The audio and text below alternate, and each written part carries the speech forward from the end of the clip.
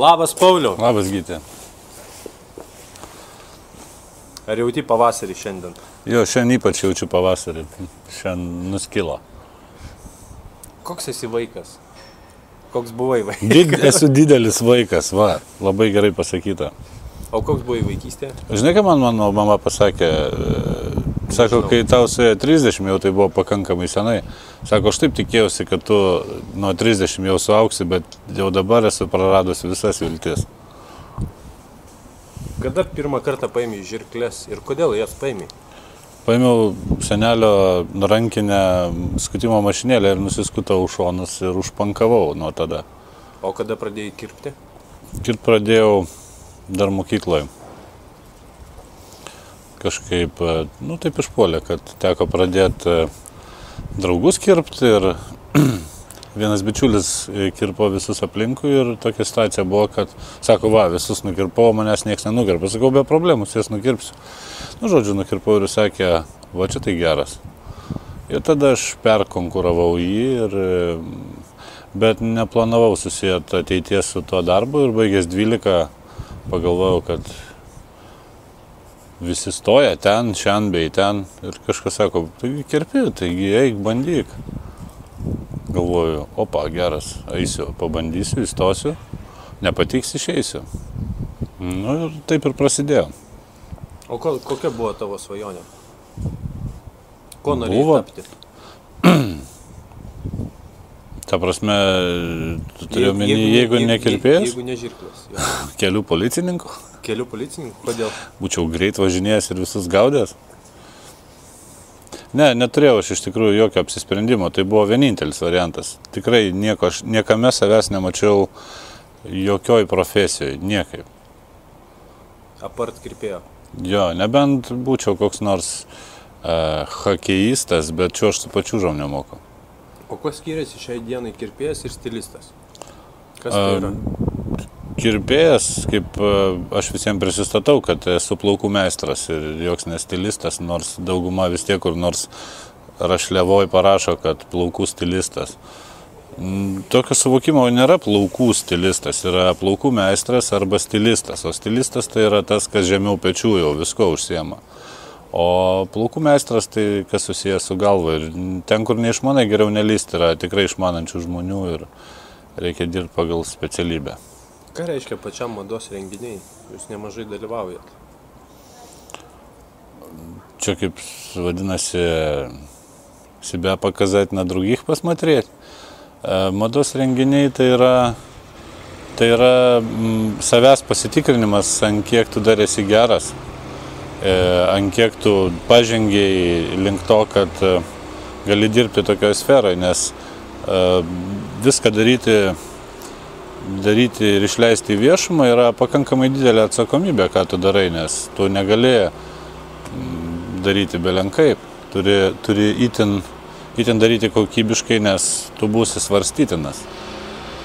Žinau, kad susilaukė dukrytės ir labai sveikinu. Ačiū labai. Ar pasikeitė gyvenimas? Uh, Ar viduje kažkas pakito? Tapus tėčiu. jo, aš, aš manau, kad pasikeitė, vėl pradėjau naktimis tūsinti su moterimi, tik jo, jos yra labai jaunas. Ir po namų teritoriją, pirmin atgal. Ar laikai save profesionalu, ar dar turi kur tobulėti? Tai profesionalumas yra tai, kad iš savo veiklos tu uždirbi pinigus, ne šiaip gatvėje žaidži krepšinį, jeigu žaidži profesionalų lygą, reiškia, tu iš to uždirbi pinigus. O niekada nesupratau žmonių, kur sako, darbas yra mano hobis. Nes hobis tai yra tada, kada tu švaistai savo uždirbtus pinigus be jokio atsako apart moralinio, kad tave tai veža, bet tu eini keurai į minusą. Jeigu tu eini į pliusą, tu uždirbi iš to pinigus, tai jau yra ne hobis, tai yra darbas. Aš žinau, kad turi vieną pomėgį žvejybą. Taip turiu. Ką reiškia tau žvejyba? Žvyba, e, žvyba, yra labai gerai pirmoji eilėje tuo, kad tu ne mėsos važiuoji. Nors labai visą laiką smagu pagauti, nes kitu atveju lasdynų baseinė gali žvejoti.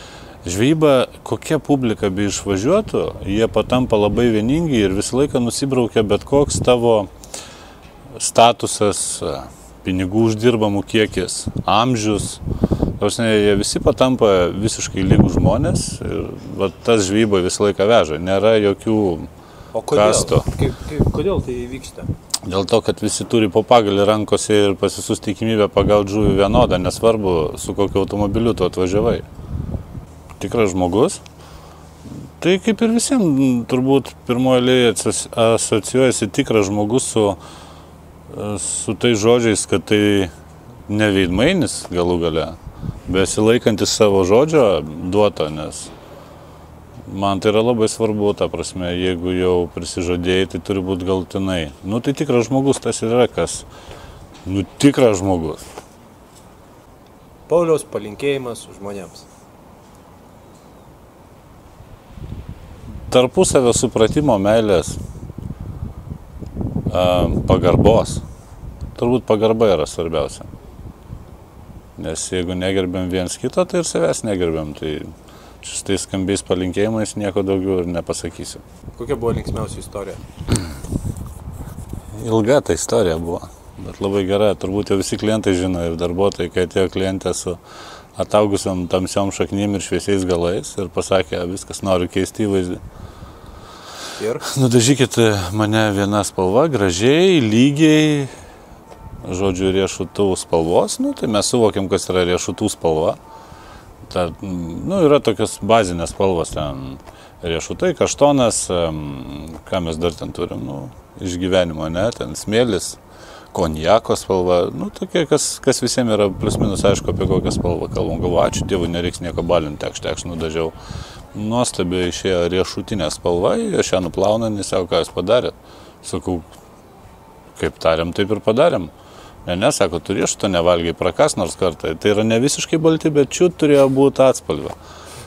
Aš sakau, košmaras. Tai einam dabar į baldų parduotuvę, paklausim, duokit mums televizoriaus riešutinį staliuką ir išsiaiškinsim, kokios jis yra spalvos. Nes jeigu tavęs klaus, e, paprašytų kaštono, tai ar tu dažytum baltai kaip žiedus, žaliai kaip lapus ar juodai kaip šaknis. Kaštonas yra kaštonas.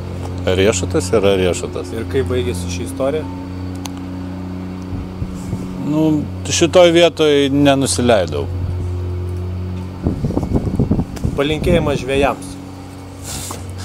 Tai Korsakas linki tuos palinkėjimus žvėjams, aš tai sakau, kad Hebra kuo didžiausios sėkmės. Ačiū Pauliau tau šiandienos pokalbį Visada prašom. su Saulėtu pavasariu ir sėkmės tau. Ačiū. Ačiū. Pačekinam garsą. Nu, čekinam tą garsą ištisai mes. Daugiau nieko neveikiam, kaip čekinam tą garsą.